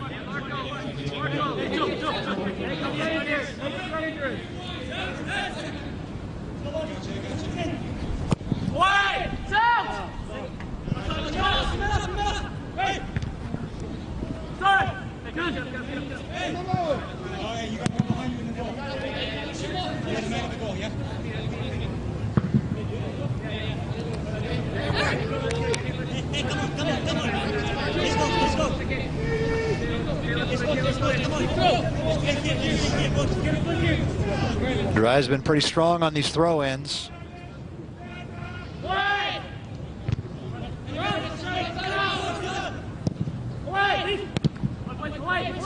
Jalen Markey got his foot on it. It's a good ball in by Dry.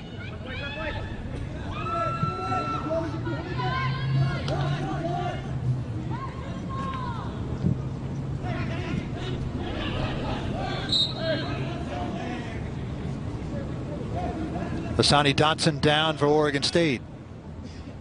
Missed the game on Friday, dealing with a foot injury.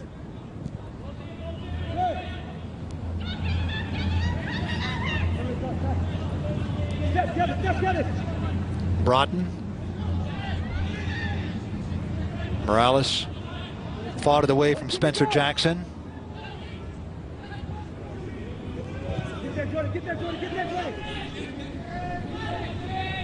Opportunity maybe here for Oregon State. Left-footed shot. A couple of opportunities in this half for Nathan Broughton. Has one career goal. Matthias Binder replacing Mitch Hammer. Binder, the Austrian, a transfer this year from the University of Wisconsin-Milwaukee. Went to high school in Arizona. Mission Heights prep. It'll be interesting to see with Binder back in if all of a sudden the possession starts to switch back in Oregon State's favor because I felt when he was in there, he really took control of the game for Oregon State. Foul called on Jaime Morales. 79th minute now, still no score. Best opportunity in this game came 10 minutes ago when Marco Gonzalez on a set piece angled one up and over Ryan Vincent, but it dented the crossbar. Daniel Moran against Joe Hafferty.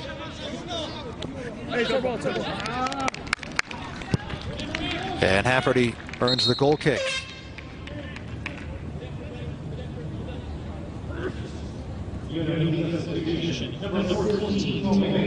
Timo Milish coming in and Spencer Jackson coming out. Milish, 23 games last year as a true freshman. He was the Western Athletic Conference Freshman of the Year. Six goals and three assists. And Jackson, who scored in the 67th minute on Friday at UP, comes out.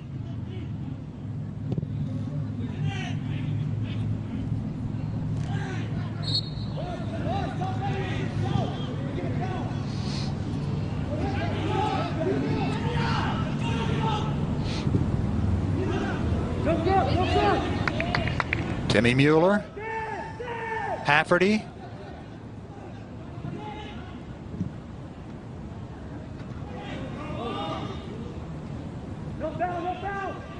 Dotson and Morales. It's Morales who comes away with it. Matthias Binder. Eric Diaz now. Memo Diaz, no relation, takes it away.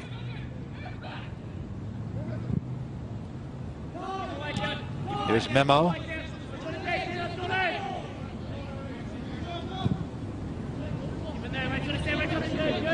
Musovski lurking near the top of the area.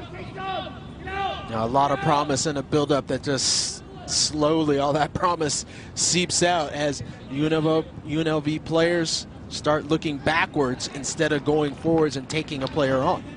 Here's Musovski against Markey. Both fall to the turf. Non-call. And now foul called against Musovski. Well, you know Musovski will go forward, but Markey does an excellent job of stifling everything.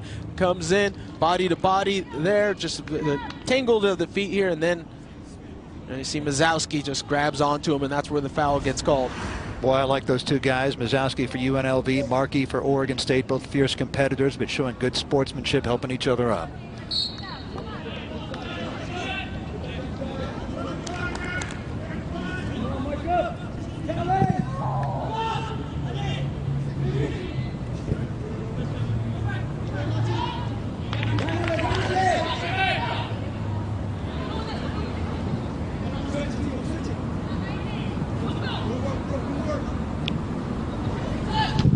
Work by Timo Milish until that touch that was too strong.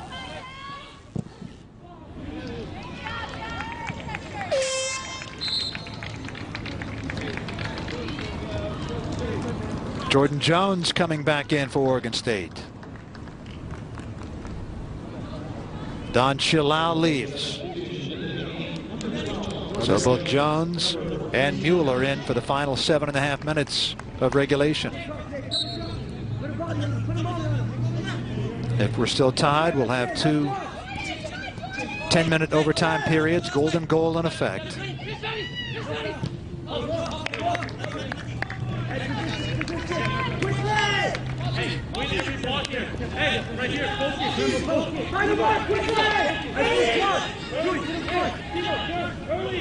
Binder on the ball, see if he's going to be looking for Markey at that back post. Markey had a header opportunity in the first half on a corner. Binder's out swinger. Markey indeed was coming to the top of the six, but it was right to Enrique Anima.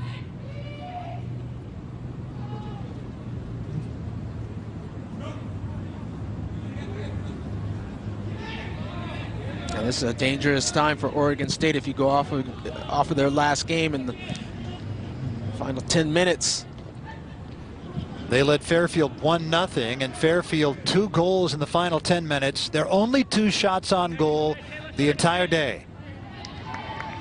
They'd been sitting in a bunker the entire day. Well, any coach will tell you that's a lack of concentration in those final final minutes. That's the most important time of the game. Defensively, can you see a game out? Can you make sure if you're if you're goalless, if you're not haven't taken any goals, if you can keep that shutout? This is more interesting for Oregon State as they're, as they're starting to push for the goal. Can they get numbers forward to help out, but still in their transition game be on point to help out defensively? Hafferty unable to create anything there. Dotson maintains possession for Oregon State against Marco Gonzalez.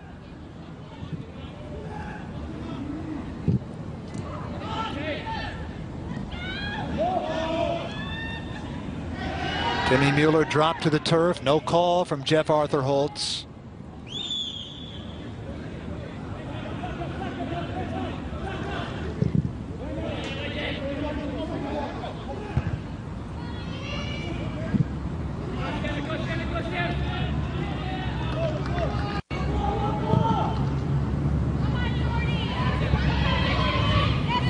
Jones against James Dry. And Jones with a push of Dry. And now Kevin Partida coming over and some more going on here. Look out. Arthur Holtz trying to restore order. Enrique Anima coming over and pushing away Jordan Jones.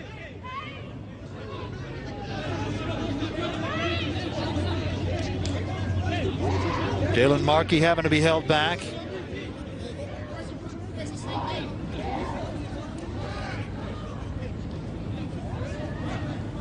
Going to take a moment to get this sorted out. Yeah, there's no need for all of it, and it really does start with Jones, you, know, giving the push, you know, after the fact. And here comes the contact here. But then you'll see that Jones just gives that little shove right there. And that, two shoves. Yeah, that that's where the problem is, where he can find himself picking up a card.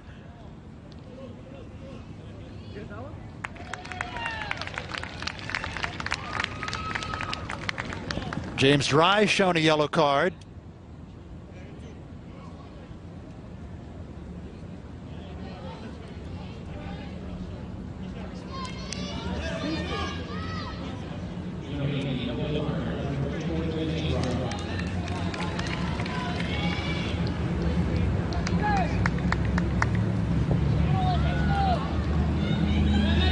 Marco!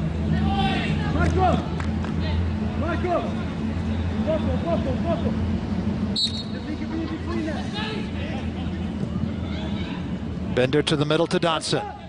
Hassani Dotson. Defended by Kevin Partida.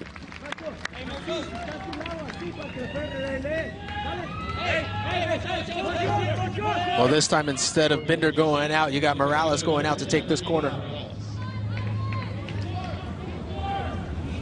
I always think it's interesting if you have players out at the back post, you need someone to really kind of step in front of the keeper. Here's Morales. Good back post for Jordan Jones.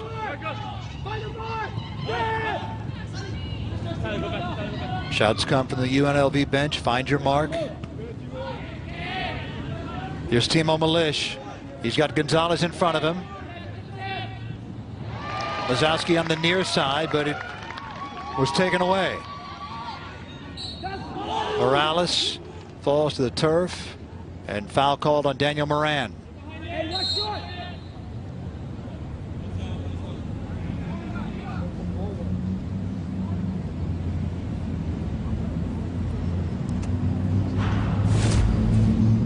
Here's Morales. As this tou- this ball gets away from him, In fact, it was Memo Diaz with the foul. you see Diaz just comes in and he, he's looking to go body to body, and that's what the referee calls. Under four minutes left in regulation here. It's Jaime Morales who takes it. Not much on that one. That's got to be a better ball from Morales. That's got to be lifted in the air to have to give your teammate an opportunity to at least get his head on it and put that back across the face of goal.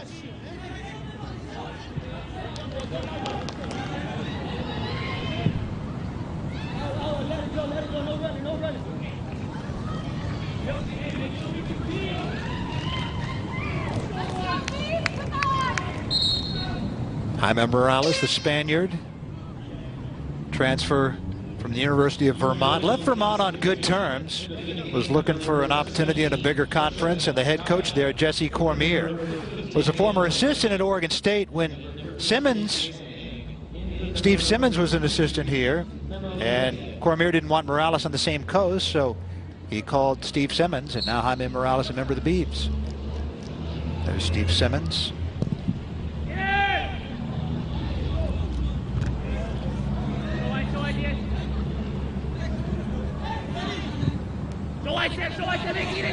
Timo Milish against Sam Tweeden. Nice defending by Tweet.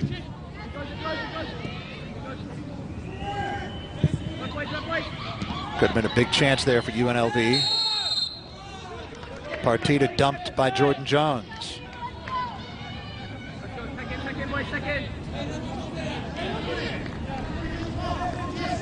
Matthias, step out. Matthias, step out.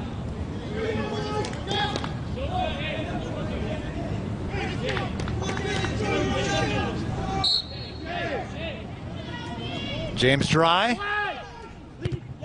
Header by Markey.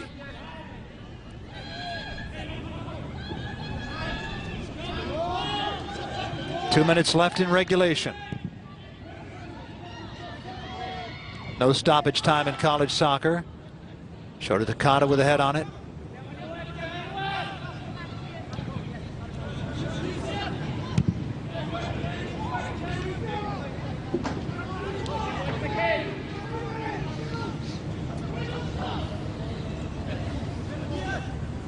Let's go, two minutes, boys.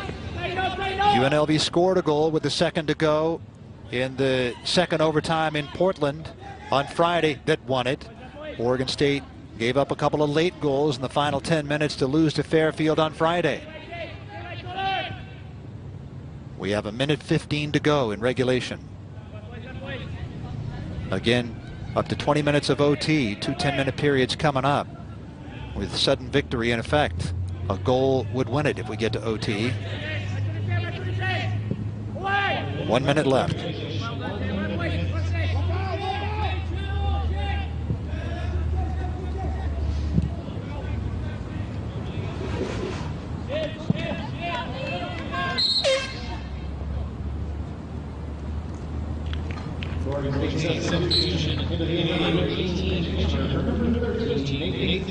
Mitch Hammer replaces Nathan Broughton.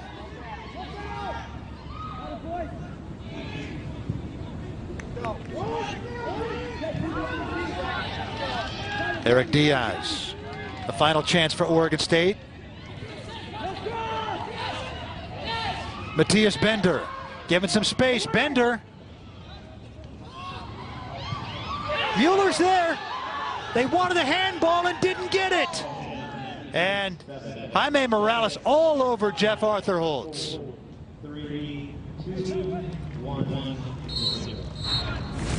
Well, we'll take a look here as this ball comes through. You see everyone's going up to challenge. Goes off the chest of Jordan Jones. And it looks like it does hit the hand there. Jordan Chavez.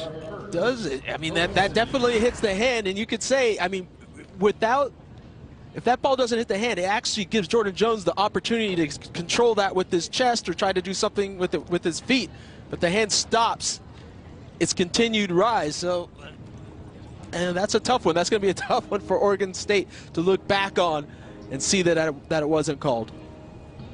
So no call on the potential handball right at the end of regulation. And so we'll be heading into overtime here in Corvallis. A goalless tie between the. Well, no score through regulation. Heading into overtime in just a moment. Highlights brought to you by State Farm. Get to a better state. And in the first half, it was Timo Milish who had an early goal. Yeah, Milish steps up and has a beautiful knuckling ball, but Vincent comes up with the huge save. And then Timmy Mueller went on the one run, defended by Jordan Chavez. And for a striker going out wide, he's starting to try to push forward and create something. Ends up getting a corner kick. Jalen Markey with a header opportunity here. Probably the best opportunity up to that point in the game from Markey. OSU thought they had it. And in the second half, Hassani Dotson got his left foot on one. And then Jaime Morales. Both, Diving save by Anima. yeah, both almost from the same spot, but then you see this set piece. A tester off of the crossbar. Vincent gets caught in no man's land. That was the best opportunity of the match so far from Marco Gonzalez of UNLV. 12 shots for Oregon State, 9 for UNLV, 3 to 2 in shots on goal. Oregon State six corners and UNLV three.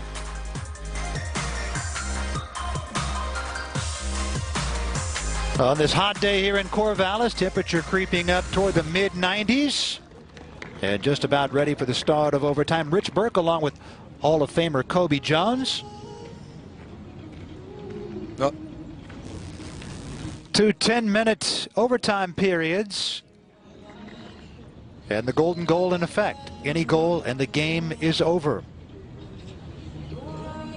I don't know how you want to call it now, but when it's this hot out, this humid, you're having a battle of a game like this, this this just comes down to you know to grit, guts, desire, whatever you want to call it, to see who can come through here. It's tough. It's tough mentally, but more so physically. So early on in the season, to have a, an overtime game in this type of heat.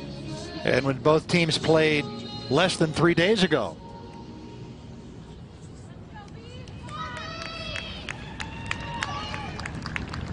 Jones and Mueller both on the pitch to begin the overtime for Oregon State. They're the two closest to you.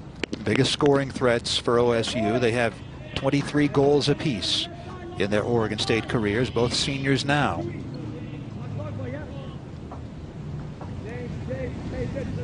No real opportunities outside that one time Timmy Mueller went on the run in this match for either of them.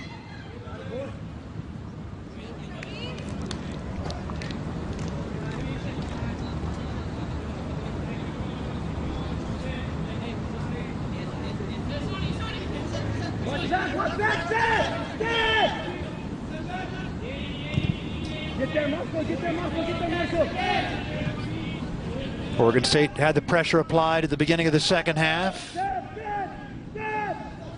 UNLV turned the tables for about 15 minutes. And then again later on.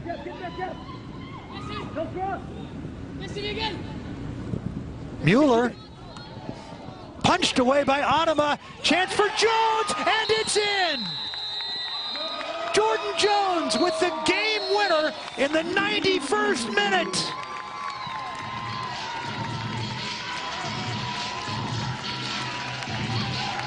What a celebration for Oregon State.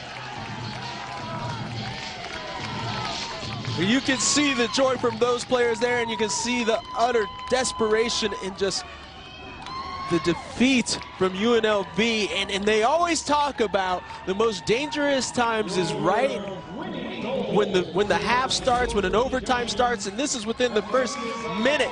It's a good ball that gets put up into the box by Timmy Mueller, and it just it's it's touched by the goalkeeper but not cleared, and it ends up finding the feet of Jordan Jones, and he strikes it, and it can't be saved off of the line. This is a great opportunity, and like I said, it's just grit being opportunistic, and this is exactly what comes of this whole play by Jordan Jones.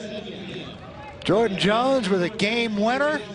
The assist to Timmy Mueller. You can expect those two to be connecting all season long.